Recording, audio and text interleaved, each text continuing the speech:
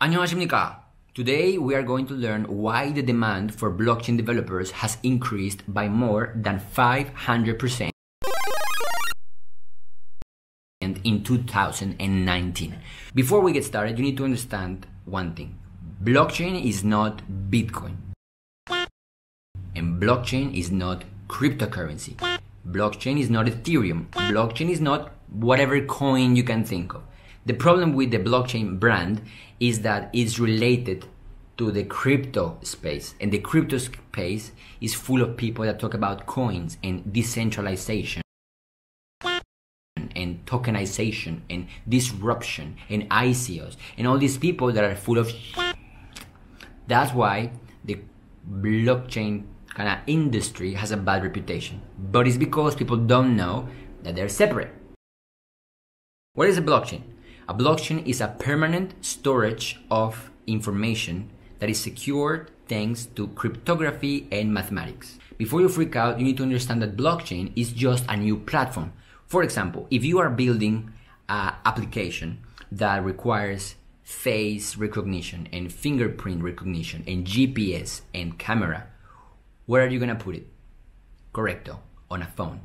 That is the right platform for that idea. Just like that, blockchain is just a new platform for developers to work on. If you can make a website, you can also make an app for the blockchain or an app on top of the blockchain. It's just a new platform to work on, but the possibilities are unbelievable. To the part number two, which is who is hiring for blockchain. This data that I got, 500% increase on the developer demand, is from a hired.com now, in my head, for example, if you have a permanent storage of information, you can, for example, you can also keep health records in a better place. You can also maybe keep university degrees or certification degrees in a more secure way. Like the, the possibilities are endless. Just like when the phones arrived, the possibilities became endless because now people can have a website on their pocket. Now the possibilities with blockchain are endless because now the information can stay still forever. What do you need to learn to become a blockchain developer? Now, the good news is that the companies that are recruiting blockchain developers are actually looking for people that are just comfortable with stuff like C, C++, Java, Python, JavaScript, and Go. So that means that just the most common programming languages. And this is because blockchain is not something that you do in only one language. Blockchain is like a concept.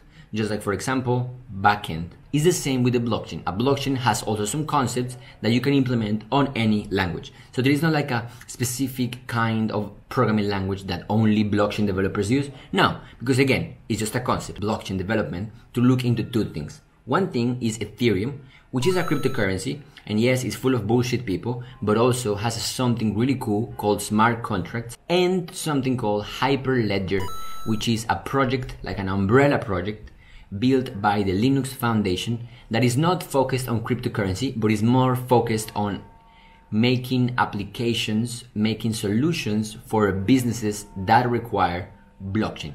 So for example, they have something called Hyperledger Composer, Hyperledger Fabric, Hyperledger Iroha, Hyperledger Indy. They have so many different tiny applications. For example, Hyperledger Indy, it handles identity on the blockchain. And it's already a project that you can use and deploy on the network of your business.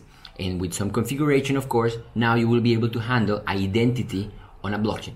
Or for example if you work with hyperledger fabric you will be able to write smart contracts on javascript or golang and you can create transactions not of money but of whatever else you want. You can create assets you can have an admin panel you can create networks all with clicks. It's amazing, amazing, amazing, amazing what the Hyperledger people have built. It's basically like a Django for blockchain.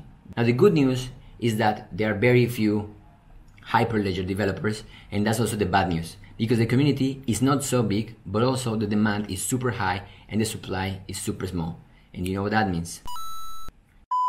I hope that you got a little bit interested into the blockchain topic with this video. Let me know if you want me to talk more about blockchain. Let me know what you think about blockchain. Do you think it's going to keep going? Do you think that it's going to die? Do you think that we are going to end up using it? Please leave a like and leave a comment saying how much you like the video. Chee. Okay, don't forget, as always, eat the kimchi. 감사합니다. Bye bye.